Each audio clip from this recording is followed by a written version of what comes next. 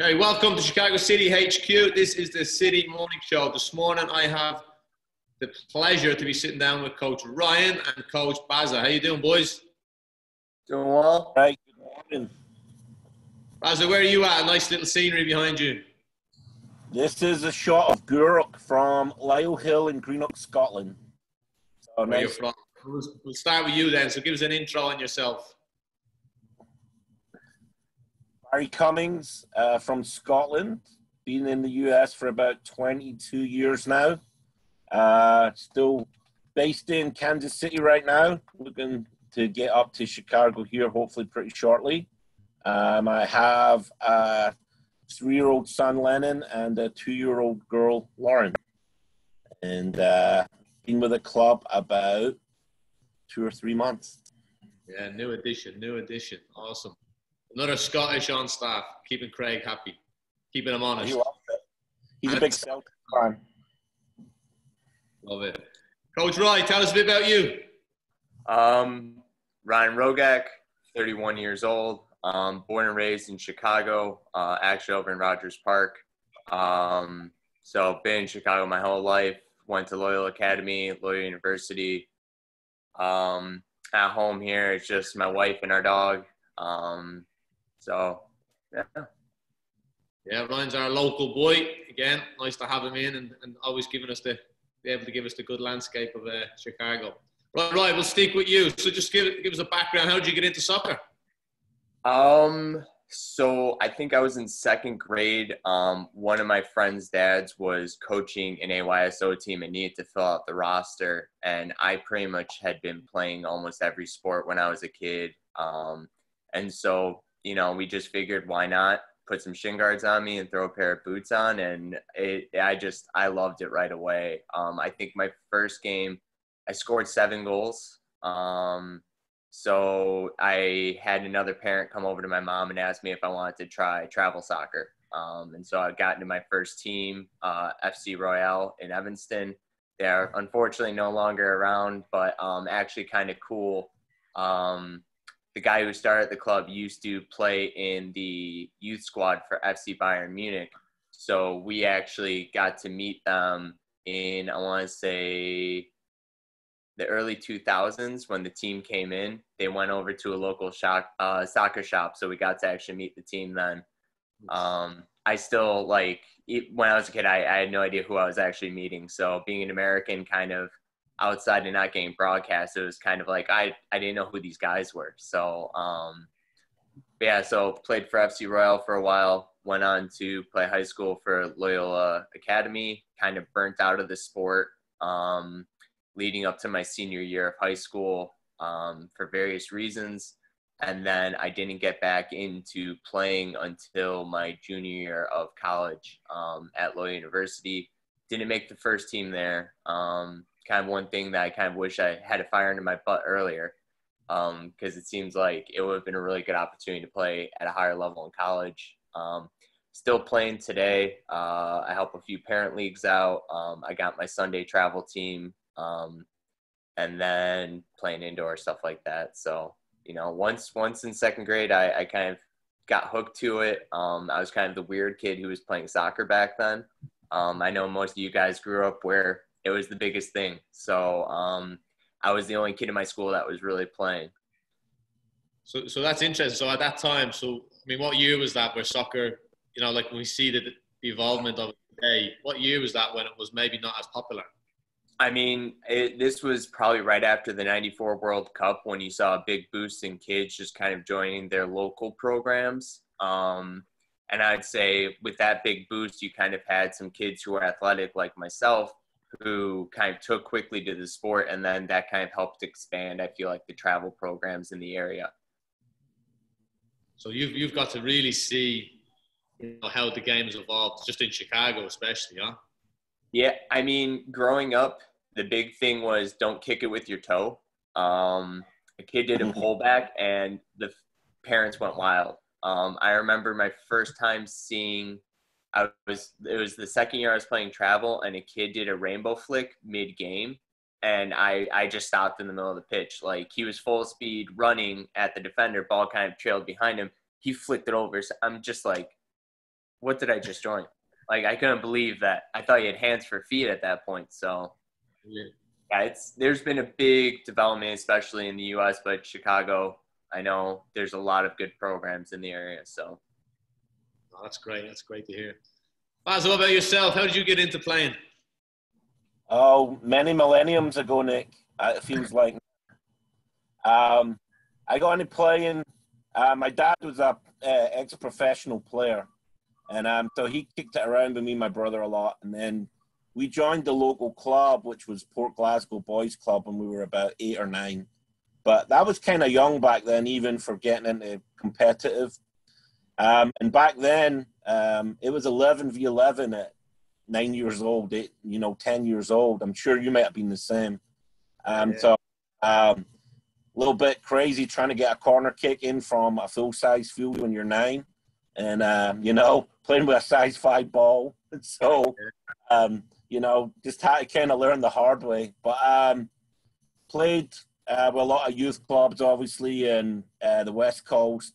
Eventually moved up to Glasgow when I was about 16. Celtic uh, recruited me to join their pro youth. Uh, played from 16 to 18 with them.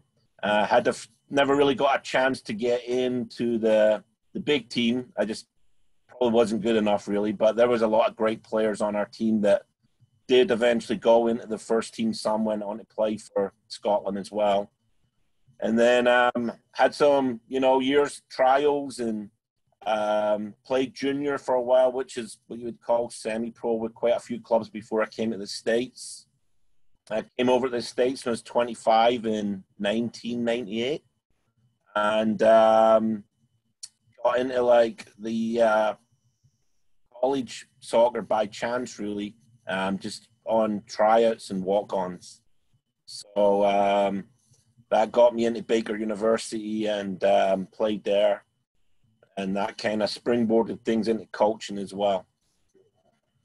What, what college were you with, Baz?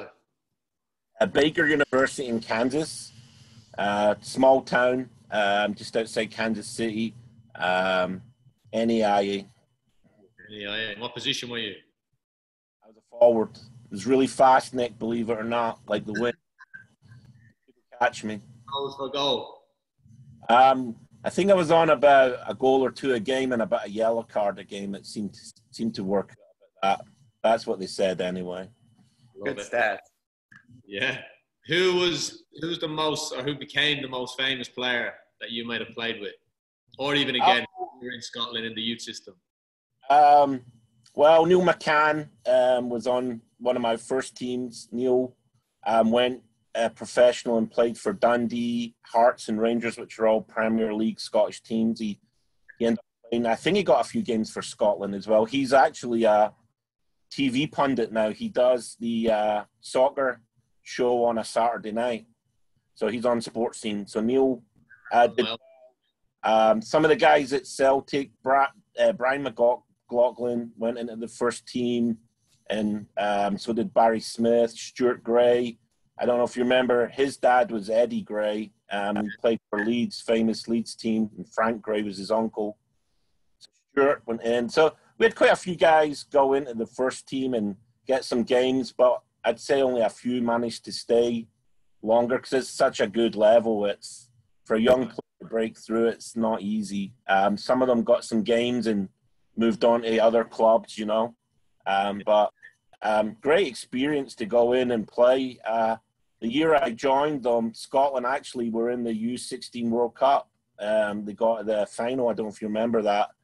It'd been about 1990. It's the last time I had anybody who was any good.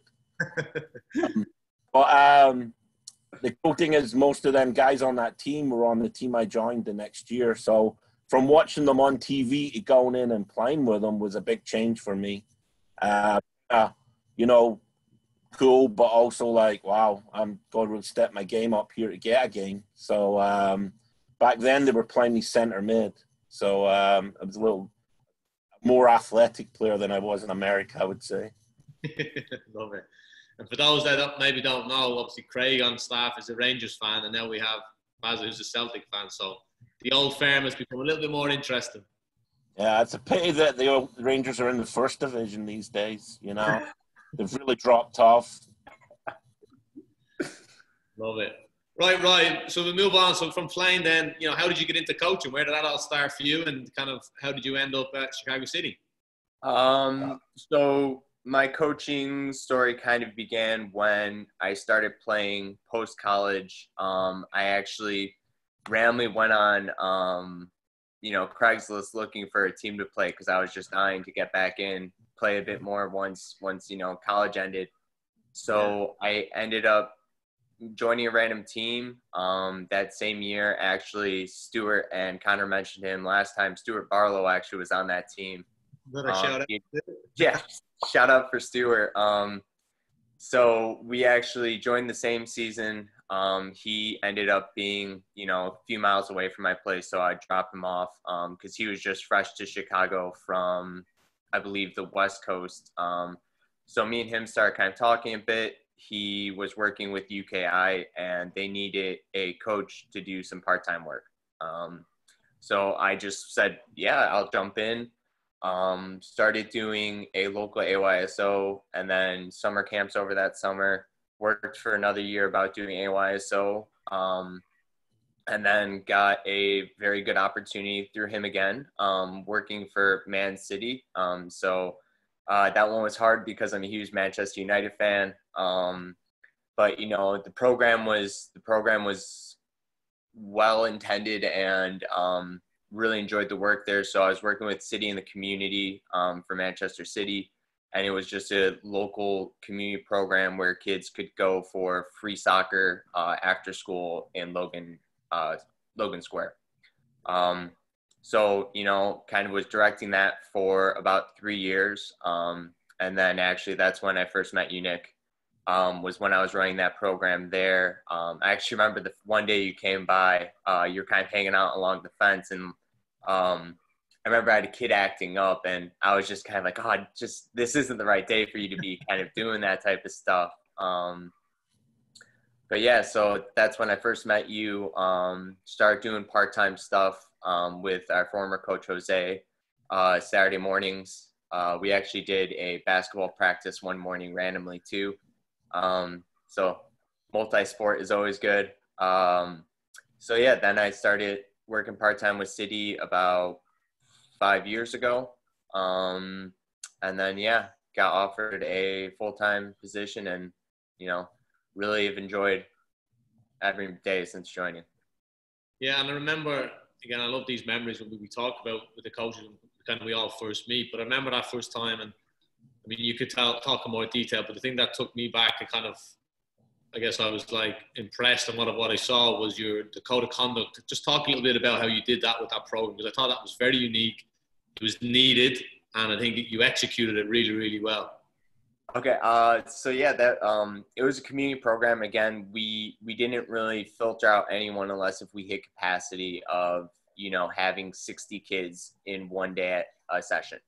Um, so it was me and another coach. We each would take about 30.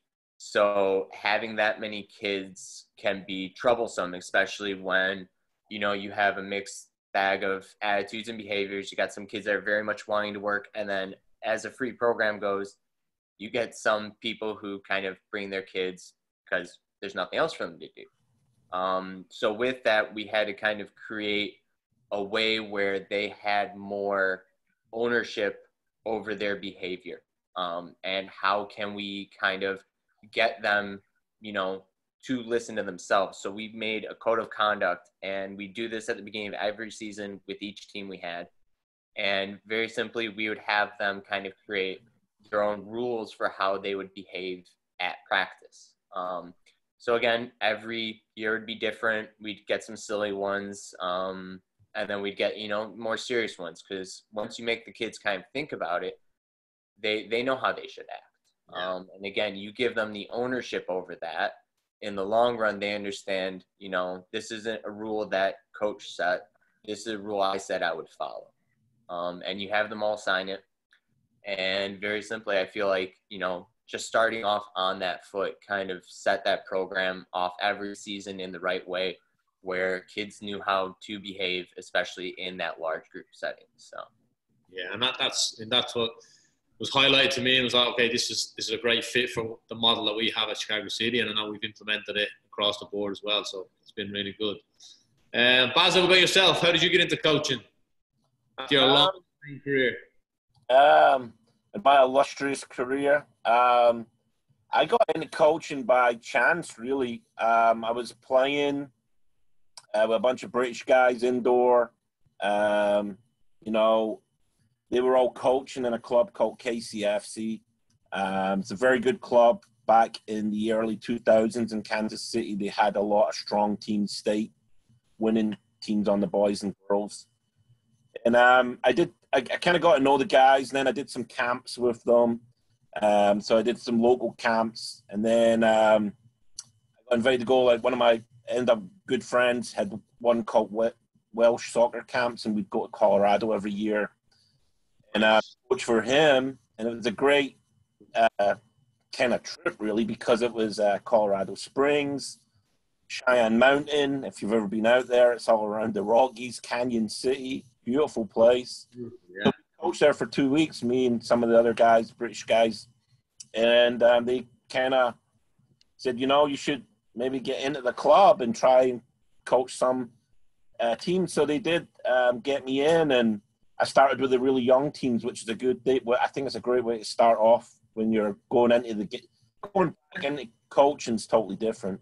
So I was given the U9 girls, U10 girls for the first few years, and I was lucky. I had a lot of athletic kids, so they did well.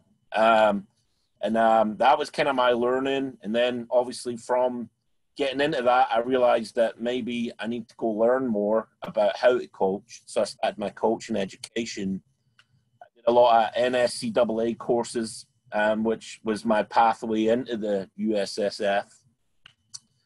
And um, yeah, that's kind of how I got into it. And um, obviously, over the years, I kept trying to go to a course every year or two and up my licenses to the point where I met you in 2010 on the A license in Lake, is it Lake Forest, Chicago? Yeah.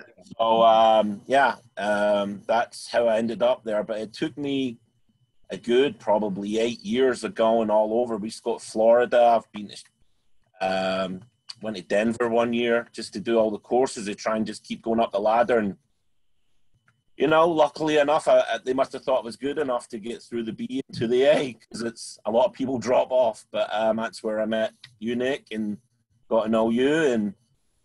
I remember nutmegging you a few times in the games, and that's friends.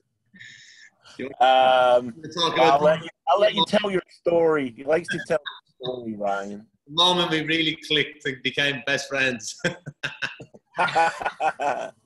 I loved loved Barry from the halfway line on a course, which is wasn't well respected, but no, yeah. I mean, we got we got talking obviously during that course and working together on our projects and things like that, and, and kept in touch since. And this opportunity has come, and you know, I know we connected six to eight months ago, maybe.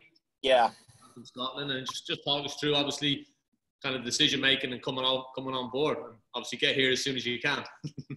yeah, obviously, uh, with the, the, coronavirus stuff, things got put on the back burner, but. Um, we, uh, you know, we've talked over the years. I lived in Chicago 2015. Um, I have a lot of sales experience as well as coaching experience. So I was working for Sprint, and um, you know, you were telling me a lot about what you did with the club, and obviously following up for conversations a license. I just loved what you were doing with like you wanted a team of coaches that were a true team.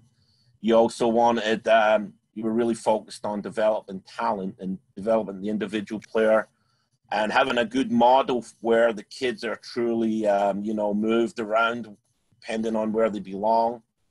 And um, I just I really like the sound of that because I'm not going to knock some of the clubs I'm in, but sometimes you I've been in some clubs where you're you're just really wearing the jersey. You're you're kind of giving your teams, and it's up to you what you want to do. There wasn't any kind of great structure, and probably until the latter years of my coaching, last few years, I think clubs have got a lot more structured. Have you know in place some sort of technical director that's helping the coaches make sure they're being relevant with what they teach. And um, you know, you already had all that going. You already, you know, um, I think you were ahead of the game a little bit back then, and some clubs that I see here now are really getting on that stuff and catching up. So um, I just I liked I liked your philosophies. You know, obviously I, I, agreed with them. So we had a lot to talk about. Um, and um, the reason we got into coach in the first place is I wanted, well, me personally, is I wanted to give back to the game that gave me so many great experiences in my life, and I miss all those guys that I played with, and I, you miss them teams that you played on, and um, you know, if I, if I could help a little kid out get better at soccer and go on to enjoy those things in their life and give them something to really, you know, look forward to every week at play, then I thought that's what we should do really if we can, if you know, and um, it's been a great uh, journey, and I'm you know obviously excited to come on board with you guys and come up there and you know start coaching in Chicago will be the next chapter. So I'm looking forward to that. yeah, we are too. I think you touched on it there. I think that's a common thing within our staff, especially the ones that maybe played longer than others. But I think everyone has played at a certain level. But it's that feeling of just giving back to the game that gave so much. Because even for ourselves, especially being from overseas, you, you come over because of this game, because of this sport, and it, and it's it's got us where we are, and you know we've had a good life through it. And like you say, I think that's you get to a point where like, how do I give this back, and how do I give it back in the right manner? And I love that. So Roy, obviously Bazza hasn't, you know, he kind of touched on it, but for you, like, what's what touches base or touches home with you that you know working at Chicago City in this environment? We ask the coaches each week, kind of like, what what does it mean to you, or what do you like about it? Um, I mean, it means a lot to me because I know, like, especially being here for about you know five years, we have a really good group of coaches. You know, we really are concerned about each other on and off the field. Um, I mean, like myself, I had some personal stuff coming up, and I had some really nice messages from coaches offering to help out whatever can be done. Um, so, I mean, being part of the staff, like it, it was always very welcoming right from the fr- like start from when I came. Um, but sorry, I forgot the second part of that. No, I think that, that's especially I think when you come in as well, being one of the younger ones.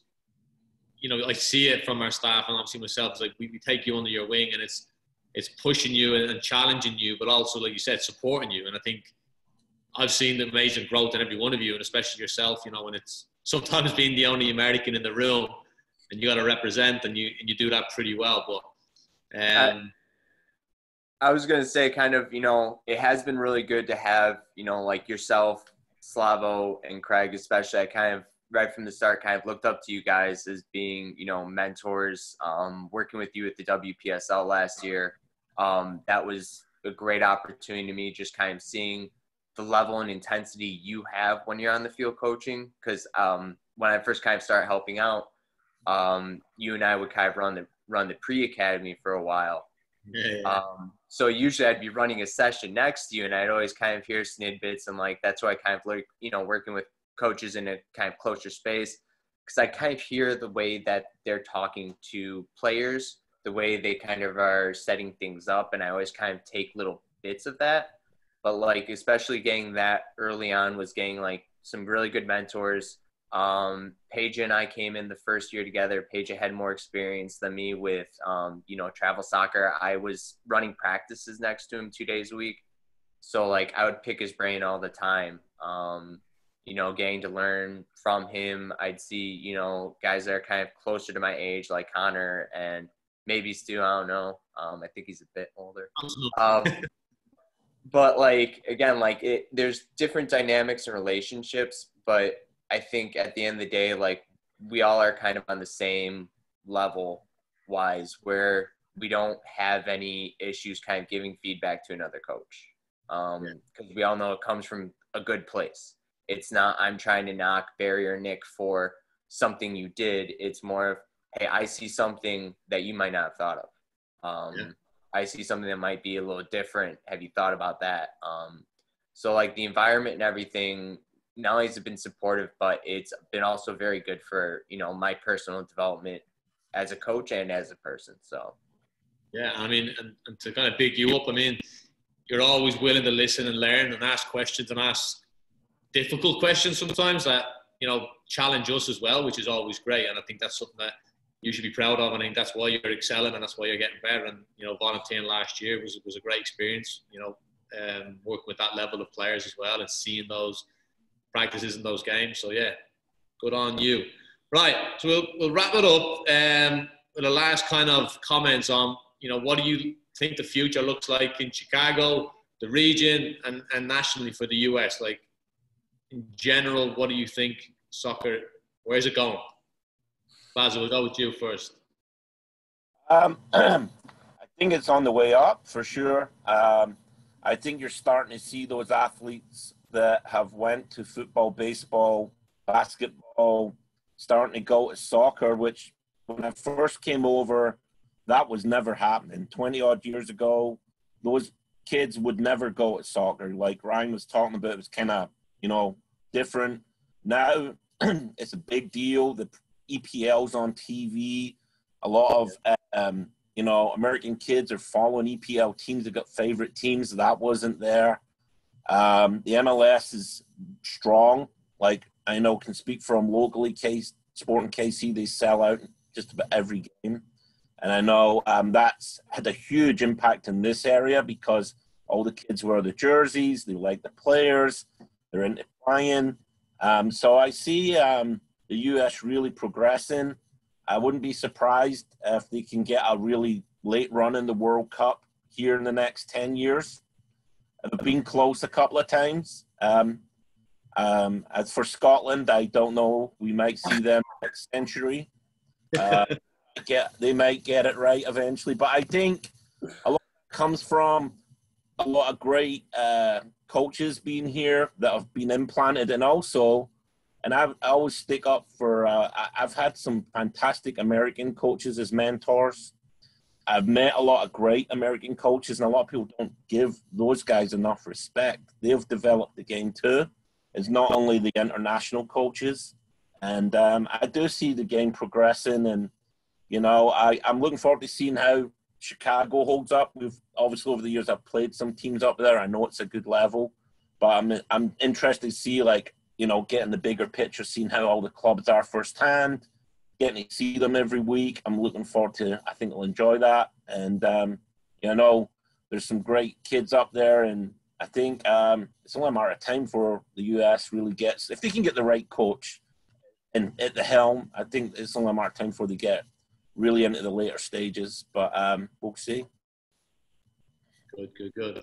Ryan, what about yourself? I like the optimism uh, for the U.S. Um, you know, especially growing through again soccer from my early age of you know don't kick it with your toe and you know kind of razzle dazzle as a pullback. So I mean, it's come leaps and bounds. Um, I think some of the biggest things that have helped out is you know we're getting better coaches, and it's through our coaching education. It's through also the opportunities for a lot of you know your guys came here for college. Um, I know other people who came here to coach. Um, so I think that the mixture of you know getting some European coaches, some South American coaches from all over the world starting to come to the U.S. to coach is helping. But us getting down our education system has been one of the biggest things. Um, I know it was kind of a laughing stock when people used to kind of show up and you'd get your you know certificates at one point. That's what I heard at least. Um, and now it's, I mean, I remember on my C course, like I'm still trying to get on my B. It's been a lot of application process and everything. They're trying to take, you know, people that are at certain qualifications and everything. And I understand that. But I remember on my C, I saw some guys on there and they were struggling. And I mean, it's good to see that there's a good standard for, you know, who's on the field working with your kid. I think that's one of the biggest things. So we're seeing, you know, from our coaches becoming better, we're seeing better players. And again, you know, Barry mentioned the streams now of English Premier League, Bundesliga. You can almost watch any league on TV now or on the internet. So I think that's definitely helping because when I was a kid, you would see three games over a weekend. They would usually be on at like 12 o'clock at night. So you'd either see a Chelsea, you'd see an Arsenal, or you'd see a Man United. And I mean, mm. that's how ultimately I became a Man United fan. But like, you'd have to watch it an odd hour, or you'd have to record it on VHS. So, um, but I'm I'm up I'm you know, looking forward to what the U.S. does. Especially, I wasn't a big fan of Bruce Arena coming back. Um, was still a little upset about Klinsmann leaving because I feel he gave a, gave us the best challenge for our education, um, and giving us you know new opportunities and pathways within it. So again, I'm I'm I'm seeing younger players for the U.S. coming out, which is always great to see. Um, and we're getting a lot more skilled athletes that are playing, you know, international competitions more frequently, like a Christian Pulisic. Yeah. So hopefully, someone like him can motivate kids to work and say, "Hey, he did it. I can get there too," and we'll have a strong, you know, presence in the world with the U.S. team. So women's team, that's not too many issues there. Yeah, no, I love it, and I think I'm I'm most interested based off the times we're in right now and, and thinking back about like how we grew up playing on the streets and always with a ball and majority of kids now throughout the US have been forced to do that. And they're at home with a ball. And obviously, it depends on how much hours they're putting in a day. But it'll be interesting to see how many kids come out of this. Will they be technically more creative, more gifted, more, you know, fundamentally, you know, solid? Um, and it, it could it could elevate the game to another level. But I mean, we'll see. All right. Well, any last thoughts, guys? No. All good. Ready to get back on the field. Yeah, ready. Yep. All right. Well, thank you very much for your time this morning.